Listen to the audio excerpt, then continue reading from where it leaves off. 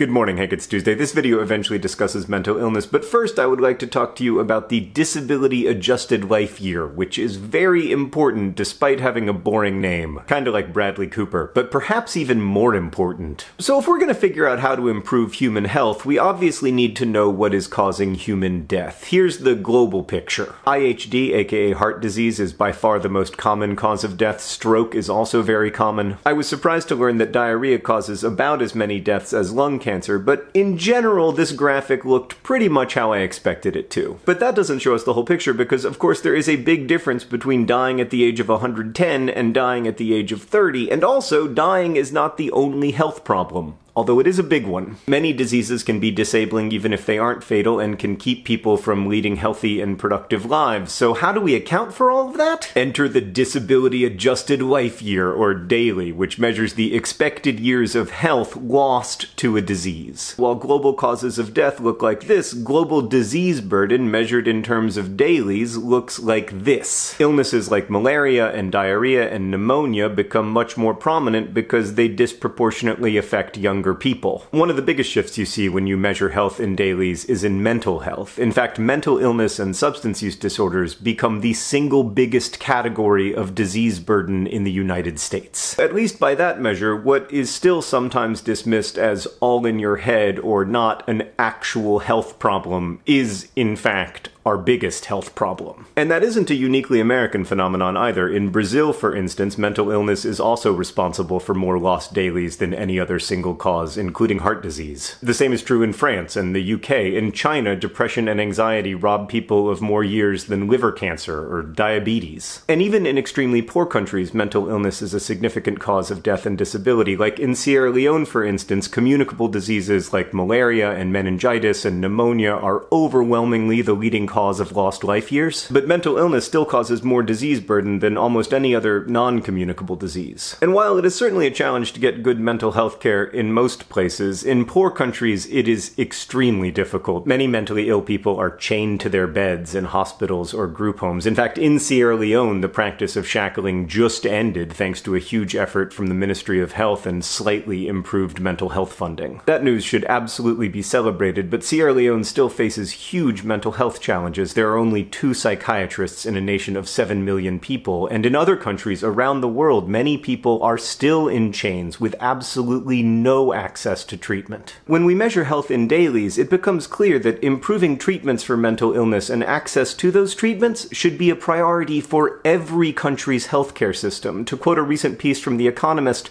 nobody spends enough on mental health. This is important to me personally because I wouldn't be able to function without the medication I take every day. It allows me to live with my thoughts rather than being controlled by them. But I also think it's important for all of us to understand that mental illness is common everywhere in the world, and it is serious. In fact, it's one of the world's leading health problems. The good news is that the vast, vast majority of mental illness is treatable. As I have said and written many times before, there really is hope even when your brain tells you there isn't. Like a lot of people with chronic health problems, I have lost time to my illness, but I also have a good and fulfilling life. And I don't just think that's like possible for mentally ill people, I think it is common, at least when there is access to good treatment, but we need more of that access, both in rich countries and in poor ones. So one last note, if you think you might need mental health care, please talk to someone you trust about pursuing a treatment plan or consult some of the links in the doobly-doo below. Hank, sometimes we just need to look at life daily.